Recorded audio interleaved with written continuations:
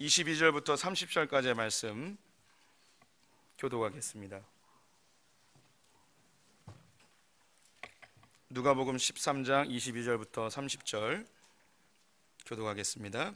예수께서 각 성 각 마을로 다니사 가르치시며 예루살렘으로 여행하시더니 어떤 사람이 여짜오되 주여 구원을 받을 자가 적으니까 그에게 이르시되 좁은 문으로 들어가기를 힘쓰라 내가 너희에게 이르노니 들어가기를 구하여도 못하는 자가 많으리라. 집주인이 일어나 문을 한 번 닫은 후에 너희가 밖에 서서 문을 두드리며 주여 열어 주소서 하면 그가 대답하여 이르되 나는 너희가 어디에서 온 자인지 알지 못하노라 하리니. 그때 너희가 말하되 우리는 주 앞에서 먹고 마셨으며 주는 또한 우리를 길거리에서 가르치셨나이다 하나 그가 너희에게 말하여 이르되 나는 너희가 어디에서 왔는지 알지 못하노라. 행악하는 모든 자들아 나를 떠나가라 하리라. 너희가 아브라함과 이삭과 야곱과 모든 선지자는 하나님 나라에 있고 오직 너희는 밖에 쫓겨난 것을 볼 때에 거기서 슬피 울며 이를 갈리라.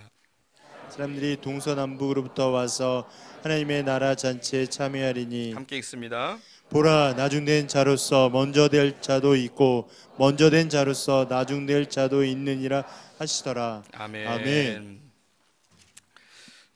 예, 성도님들 새해 복 많이 받으시기 바랍니다. 어, 예, 새해가 밝았는데요. 예, 이제 2018년입니다. 2017년은 돌아오질 않죠.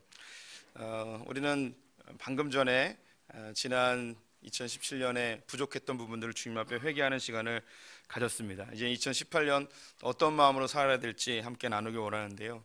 예수님이 각 성과 각 마을로 복음을 전하시다가 예루살렘으로 올라오는 길에 어떤 한 사람을 만나게 됐습니다. 이 사람이 뭐라고 질문하냐면 하냐면 주님 구원받는 자가 적습니까? 라고 묻습니다. 왜 적다고 이야기를 했을까요?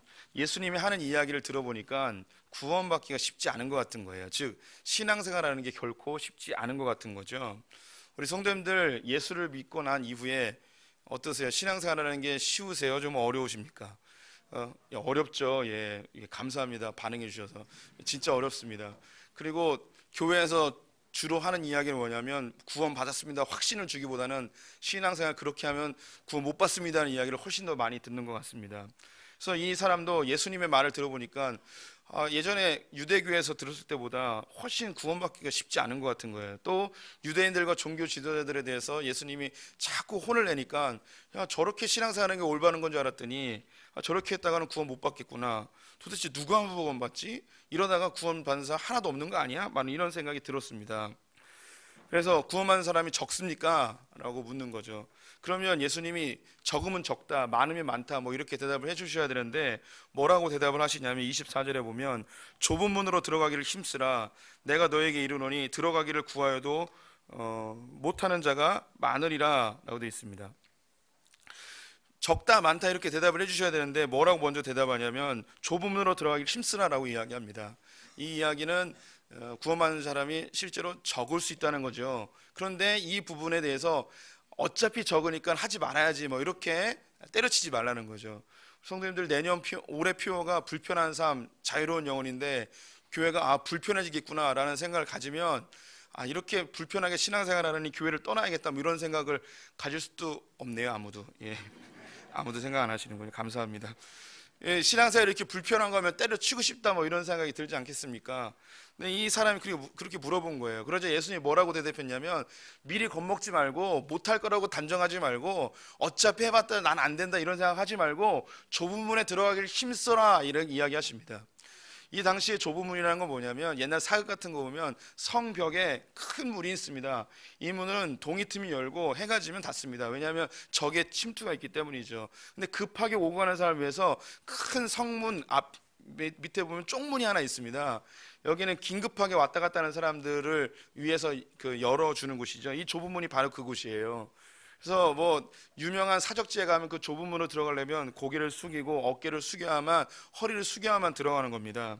그래서 이 하나님의 나라에 들어가는 것, 즉 구원을 받으려면 어떤 삶을 살아야 되느냐? 좁은 문으로 들어가는 삶을 살아야 된다는 거죠. 넓은 문, 편안한 삶이 아니라 좁은 문, 불편한 삶을 지향할 때에 구원받는데 조금이나마 더 가까이 갈 수 있다는 거죠. 힘쓰라고 이야기합니다. 대충 대충 하지 말고 이 좁은 문에 들어가기를 애쓰라는 거죠. 우리가 작심을 하고 고난받기를 각오하고 좀 불편한 삶을 각오하는 것, 내 영혼이 구원받는 것 위해서 이쯤은 내가 해보리라 라는 그런 각오 를 한번 해보라는 거죠. 그러면 그런 또 그런 생각이 또 들겠죠. 아니 그렇게 힘들게 신앙생활하면 누가 도대체 구원받겠습니까?라고 의문이 들겠지만 예수님이 이렇게 이야기하십니다. 29절과 30절에 이렇게 기록되어 있네요. 사람들이 동서남북으로부터 와서 하나님 나라 잔치에 참여하리니 보라 나중된 자로서 먼저 될 자가 있고 먼저 된 자로서 나중될 자가 있느니라. 주님이 얘기하는 거예요. 너 네가 생각할 땐 구원받는 사람이 별로 없을 것 같지? 근데 마지막 때에 주님이 재림하신 날이 되게 되면 동서남북 열방에서 구원받는 자리 속속 나온다는 거죠. 그래서 우리 내년에 올해 이제 불편한 삶을 추구하는데 우리 성도님들이 생각하는 것보다 이 인류 가운데 열방 가운데 우리보다 훨씬 더 불편하게 신앙생활하며 자기의 몸을 복종시켜 주님께 나아가는 그리스도인들이 너무나 많습니다. 어, 지금 너무나 편리하게 생활하다가 조금 불편해지고 조금 신앙생활이 어려워지고 세상 사람들로부터 우리가 인정받지 못하는 이런 어, 시대에 살고 있기 때문에 이런 이렇게 해서 우리가 구원받을 수 있을까 이렇게 힘든 바에는 신앙생활 안 하는 게 낫지 않나 이런 생각을 할 수 있겠지만 우리보다 더 힘들고 어렵게 불편하게 고난받으며 신앙생활 하는 사람이 열방 가운데 동서남북에서 다 몰려 나온다는 거예요. 그런 사람들 수없이 많이 있다는 거죠. 누가 구원받겠어라고 하겠지만 그런 구원받는 자들이 열방 가운데 곳곳에서 우리보다 더 열심히 신앙생활하고 있다는 겁니다. 우리 성도님들 한국 교회는 굉장히 지금 위기의 상황에 놓여 있습니다. 우리 신앙의 본질을 찾아가야 하고 우리에게 주어진 신앙의 자유함을 육체의 자유함으로 사용하지 말고 서로 우리가 하나님 앞에 종노릇하는 자, 즉 우리를 겸손히 낮추는 삶을 살아야 할 것입니다. 기독교의 신앙생활의 궁극적 목표는 내가 잘 되는 게 아닙니다. 또 하나님을 이용하는 것도 아니죠. 내 죄책감 해결하는 것이 아닙니다. 기독교의 신앙생활의 궁극적 방향성은 어디에 있냐면 예수를 닮아가는 것입니다. 주님이 걸으셨던 그 길을 걷는 거죠. 주님이 걸으셨던 길이 좁은 문이었고 십자가 길이었고 가시밭 길이었습니다. 그 길로 가야만 하나님의 나라에 들어갈 수 있다고 이야기하셨어요. 그러니 우리도 편안한 길, 넓은 길을 택하지 말고 신앙생활의 본질을 찾아가기 위한 애씀, 즉 좁은 문으로 들어가고 가시밭 길을 택하고 주님이 걸으셨던 그 십자가의 길을 우리가 담대하게 걸어나가는 자들이 되어야 할 것입니다. 우리 올해 주저의 말씀 한번 같이 읽어보겠습니다. 갈라디아서 5장 13절 말씀 같이 읽어보겠습니다. 형제들아 너희가 자유를 위하여 부르심을 입었으나 그러나 그 자유로 육체의 기회를 삼지 말고 오직 사랑으로 서로 종로를 따라 아멘.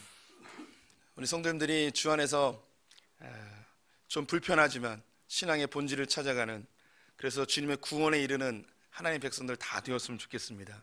이 시간 잠시 우리가 결단하는 기도하였으면 좋겠습니다. 어, 하나님 앞에 또 우리 그 결단 어, 소원문 드렸죠. 거기에 내가 신앙생활 어떻게 할 것인가에 대해서 어, 한번 기록해 보시면서 어, 결단의 시간을 가졌으면 좋겠는데요. 우리 영상 띄워주시고요. 네. 네, 자유롭게 또 어, 음악과 함께 기도도 하시고 어, 또 결단에 기도문도 쓰시고 또 신앙생활에 다짐들도 해보는 시간 가졌으면 좋겠습니다.